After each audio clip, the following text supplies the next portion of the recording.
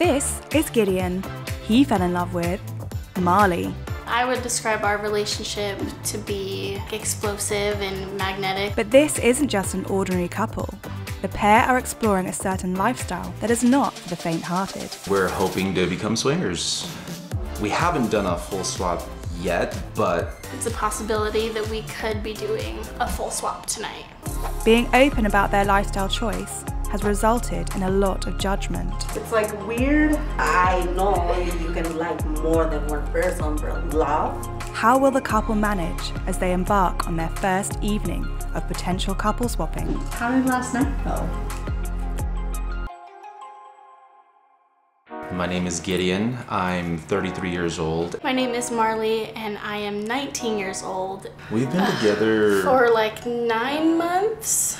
I would describe our relationship to be explosive and magnetic. I feel 100% comfortable with him. We're open, we're expressive. We're hoping to become swingers. Get into that lifestyle and find out, I guess, if it's really something for us. Something that we will enjoy. Having decided to embark on this new phase of their relationship, it was important to Gideon to be open and honest with his family. Mom, I mean, what do you think about everything that we're doing? Yeah, it's kind of weird. I know you can like more than one person, but love. Truly, love. Yeah. You think so? I guess that's what we're finding out because I don't really know the answer. I'm excited for you guys, but then again, like I'm scared for you guys because I feel like one of you guys is gonna end up being hurt by this. It was your idea. Yeah. It was his idea. Yeah, 'cause, I- like, I brought it he- up. Well, he knows more about like his sexuality than I do know about my own. But when he had told me about it, I was just like, yeah, like I'm open to the Yeah, idea. Yeah, but what did you say uh, the first time when he told you about this? I was like, well, if it was like a foursome and not like in separate rooms, and he's like, that's that's what I want. Like I want it to be like a foursome type um, experience. And I was like, oh, well then, yeah, like I can do that 100%, and that saved our relationship, honestly. And I was like, If you're happy, I'm happy. thanks, Mom. Ya sabes, te apoyo en Yeah. todas tus locuras. yeah, I know, Mom. I appreciate that always. But while at home their family are supportive, the couple have faced judgment when sharing their story on social media. We get people that are like, that is not love, like that is not what you should be doing in a relationship, and you guys are not going to last long at all. They are very judgmental. They're very like, what are you doing? Like, if you're gonna be sharing your partner, why even be together? Why not just be single? My mom actually, I told her the other day, and she was like, I don't want the world to know you for sex. And I was like, people already know me for that, mom, so I can't change that.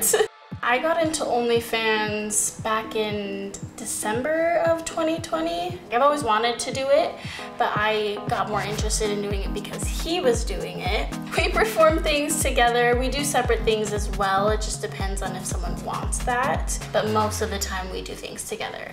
And then the age difference. Once people realize, like, oh, he's how old and she's how old, oh, yeah, it's grooming, it's this. But it doesn't bother me because I'm like, you don't know us. Yeah. So I don't really take it that personally. It's just more about that we weren't designed to just be monogamous. And, and it's okay to want and desire to be with more than just one person. The couple's determination to have an open, transparent relationship on their own terms has led to some difficult conversations with Gideon's son, Sade. So my son, he's 12 years old, and yeah, I came to him and his mom about us wanting to be in this lifestyle. So I don't think he's necessarily like, yeah, go dad, you know, do your thing, but he's also not like judgmental about it. He gets spoiled with love from everybody, including Marley. You know, Marley's 19, my son is 12. They're not that big of a gap in age. I know it can be a little unnerving. You know, I could tell like when he first met her, she just, he was like unsure of how to go about that whole thing, but In terms of the OnlyFans, when he told me, I kept on joking around with him, calling him, saying he's part of the Cast of Magic Mike or something, but I got used to it. I'm glad that he gets to do what he likes to do for a living. That's what I love. Like my whole family's very open. The couple we've been seeing is Damon and Elena. Um, those are the aliases we've picked for them though, because they go by their own aliases. We've only been on one date with them, but we are going to be seeing them later tonight. But we're not only seeing them; they're actually introducing us to other couples. Other couples, it's actually yes. uh, A house party. Yeah. That's what it's called, yeah. for the lifestyle. It's a possibility that we could be doing a full swap tonight. So how how did last night go?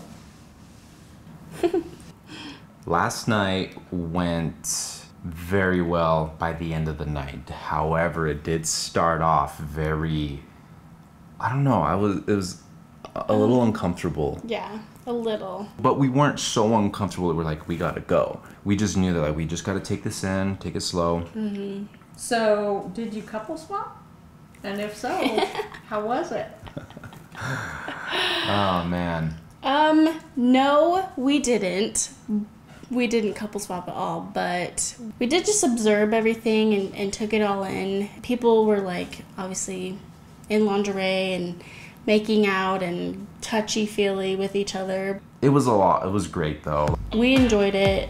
The date with Elena and Damon, I think, was like really nice. We've already decided that that's the first couple that we do want to couple swap with. People may judge us, but this experience has been amazing, and I think that it brings us closer together.